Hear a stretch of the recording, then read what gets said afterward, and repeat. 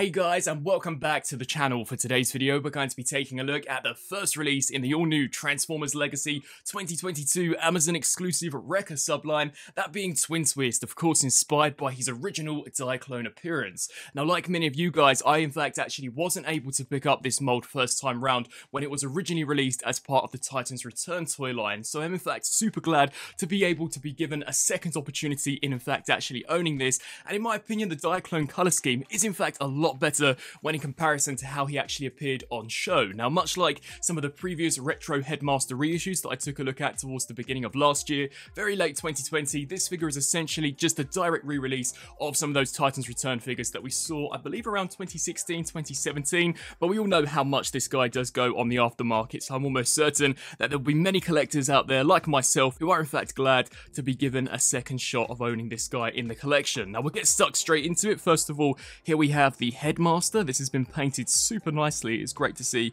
how Hasbro appear to have perfected the paint apps, especially where the head sculpt is concerned. You can see the visor looks awesome, and the articulation is standard for these Headmasters. So we do get ball joints here at the shoulders, hinge joints for the hips, as well as there for the knees. And he can in fact actually be inserted into the cockpit, albeit very difficult to in fact actually get a hold of. So you just simply want to lift this section up. Now originally I did expect this tab to port into this section. However, sadly, if you are to do that, the actual cockpit itself won't close up. So you kind of have to put the headmaster at a slight angle. It does kind of rattle around in there, but then we can just close that up and you can see it actually looks pretty decent being stored away inside. But overall, a very, very nicely done looking vehicle mode. Of course, we've got those twin twist drills here at the front, which have been fully decked out in a wicked metallic silver. It would have been awesome had these been able to, in fact, actually rotate. But very nice looking sculpt work. I think the sculpt work across the board for this guy looks impeccable. And the shade of blue they've used for the plastic looks wicked, despite this literally being plastic and having barely any blue paint on it. I think for the most part, it's turned out really nicely. You can see some of those classic Diaclone colours, such as the red and yellow here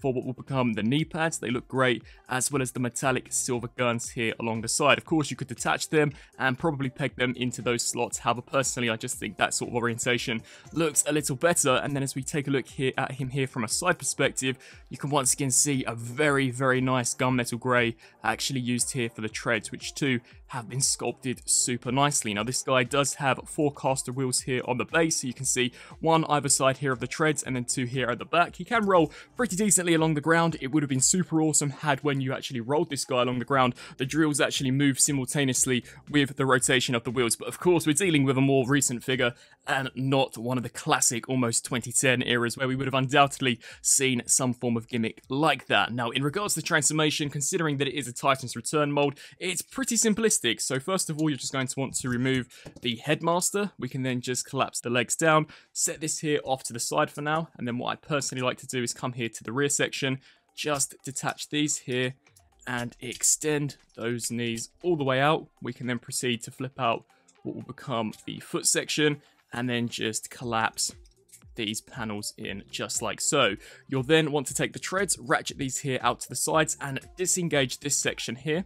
We can then come to the top, hinge out the shoulders, rotate the cockpit up and then take these drills fold those in, hinge this section down, and a piece of engineering which definitely took me by surprise is that essentially this entire torso plate does in fact completely rotate all the way around. I thought that was great engineering, especially considering that this is a pre-War for Cybertron trilogy mold, and then you'll just want to lock that into place, rotate here, at the waist. I also thought the engineering where the arms was concerned too was genius. So you're going to want to flip that flap out, extend the elbow joint and then flip out the wrist. Take the tread, ratchet that there to the back and of course, rinse and repeat the exact same process here for this side. So flip out the wrist, extend the elbow joint, collapse that down, rotate the tread just like so. And then we can bring back in the headmaster and just snap that section in there. And there we have the Legacy Twin Twist fully transformed up into his pretty awesome looking robot mode. As mentioned previously, this mold was originally released, I believe around about 2016,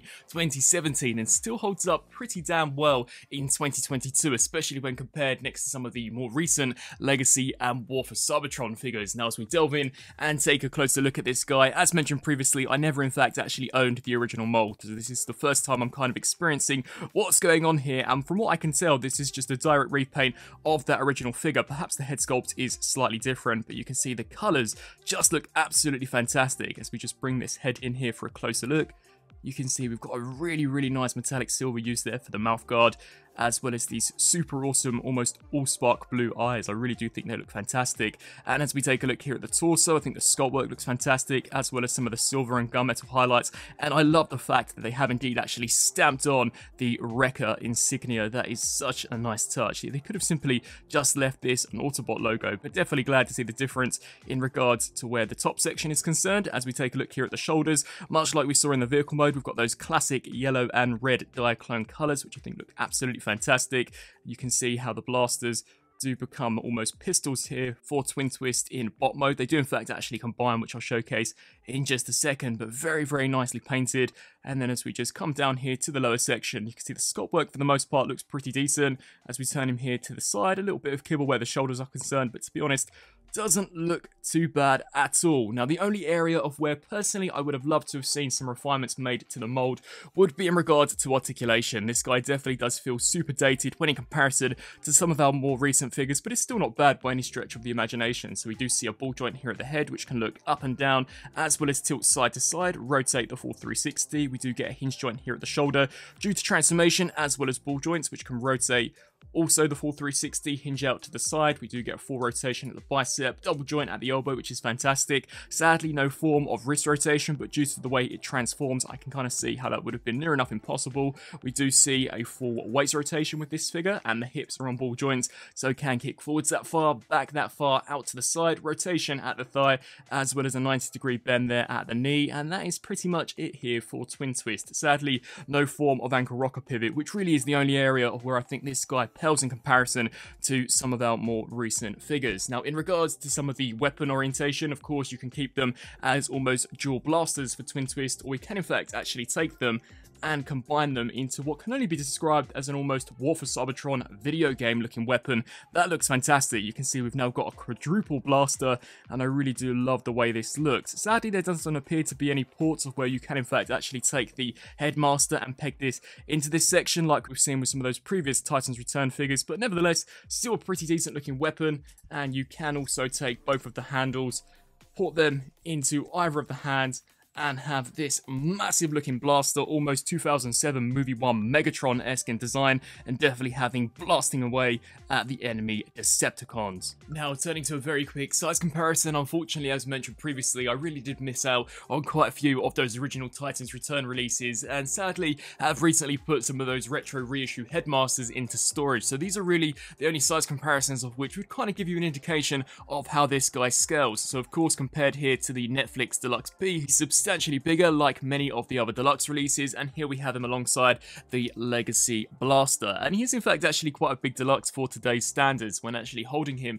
the plastic all feels great and he is indeed actually quite a big decent sized figure. And here for some bonus footage here is the reverse transformation from robot back into vehicle mode.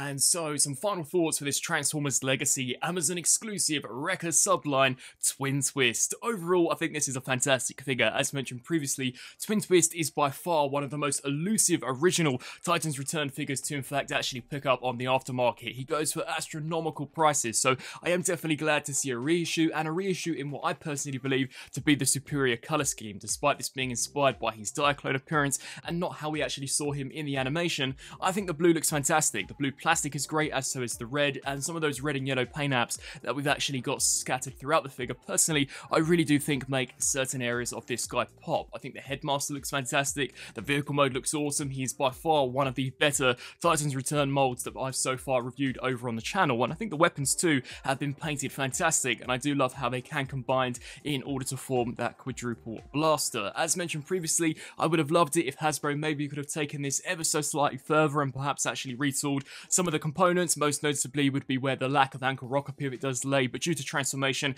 I think that more or less would have been pretty impossible to do without completely jeopardizing the way this guy does convert. So for what he is, that being just a simple repaint slash reissue of a pre-existing figure, I definitely think he's one of the better ones out there. I'd love to hear your thoughts down in the comment section below. What do you guys think in regards to this Wrecker subline? Do you plan on adding any of these figures to the collection? Will you indeed actually be picking up this particular Twin Twist? And like myself, were you unable to acquire the original version and will be going out of your way to pick up this guy? I'd love to hear your thoughts down below. And as always, I thank you guys all so much for watching. Until my next review, I'll see you then. Thanks for watching.